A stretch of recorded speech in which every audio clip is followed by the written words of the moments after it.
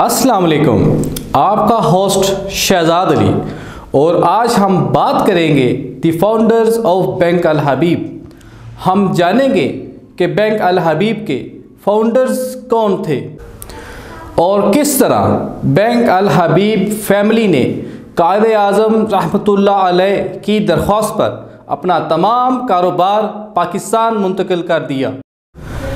Bank Al Habib के sponsors Dawood Habib group का banking sector में एक तवील मुद्दती ट्रैक रिकॉर्ड मौजूद है।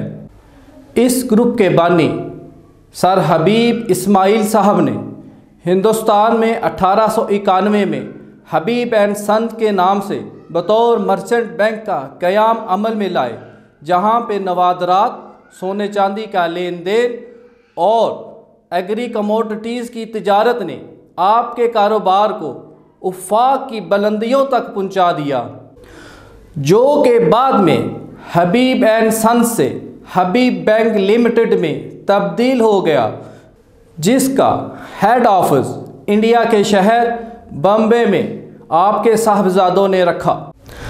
तकसीम हिंद के वक्त सन उन्नीस में जब हबीब फैमिली का कारोबार अरूज पर था, उनकी मेहनत, सच्चाई, दयानतदारी के चर्चे पूरे हिंदुस्तान में मशहूर हो चुके थे।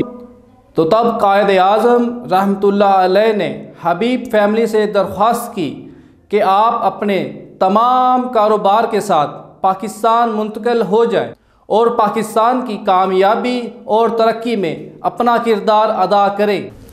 चुनांचा सच्ची लगन और जज्बा हुब्बल वतनी के तहत हबीब फैमिली अपने तमाम कारोबार के साथ पाकिस्तान मुंतकल हो गए और जिसकी बिना पर हबीब बैंक को पाकिस्तान का पहला बैंक होने का एजाज़ हासिल है। दाऊद हबीब ग्रुप हबीब बैंक के बानी अरकान में से था, जिन्होंने पाकिस्तान की मालियाती और बैंकिंग ज़रूरियात को पूरा करने में अहम किरदार अदा किया, जिसकी बिना पे हबीब बैंक को पाकिस्तान की बैंकिंग सेक्टर में अहम मुकाम हासिल है।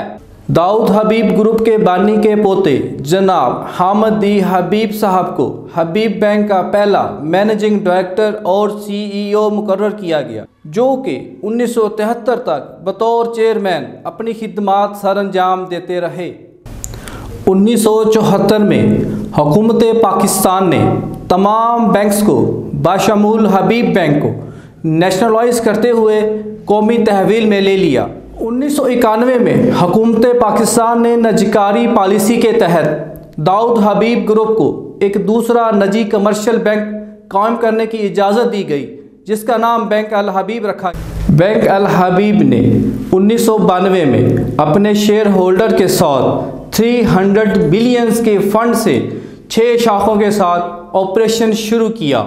मरहूम जनाब राशिद डी हबीब साहब को दूसरा मैनेजिंग डायरेक्टर और सीईओ मुकर किया गया, जो कि उन्नीस सौ चौरानवे तक बतौर चेयरमैन अपनी खिदमात सर अंजाम देते रहे। उसके बाद अली रज़ा दी हबीब साहब, जो बोर्ड में पहले ही डायरेक्टर थे बैंक का चेयरमैन मुकर कर दिया गया। जो कि 2016 तक इस अहदे पर कायम रहे। इसके बाद जनाब सर अब्बास दी हबीब साहब को, जो कि अदारे में मैनेजिंग डायरेक्टर की जिम्मेदारियाँ अदा कर रहे थे, को सीईओ मुकर कर दिया गया, जिनको मुल्की और गैर मुल्की मार्केटों में 50 साल से जायद सनती, तजारती और बैंकिंग का तजर्बा रखते थे। वो हबीब ग्रुप की मुख्तलिफ़ तंजीमों के साथ साथ अला अहदों पर भी फायज रहे, जबकि 2016 में सर मंसूर खां साहब को बैंक अल हबीब का सीईओ मुकर कर दिया गया। अठारह से शुरू होने वाले इस अदारे को आज 2023 में तकरीबन 132 बरस गुजर चुके हैं, लेकिन इस अदारे की खासियत ईमानदारी, सच्चाई और एतमाद के मैार को अभी तक बरकरार रखा हुआ है, जिसकी वजह से बैंक अल हबीब को ना सिर्फ़ कौमी सतह पर, बल्कि बैन अवी सतह पर भी ख़ास अहमियत हासिल है। अल्लाह पाक, पांचतन पाक के सदक़े इस अदारे को दिन दुगनी और रात चुगनी तरक्की अता फरमा, क्योंकि इस अदारे की तरक्की से ही हमारी तरक्की शामिल है। आमीन सुम आमीन शुक्रिया।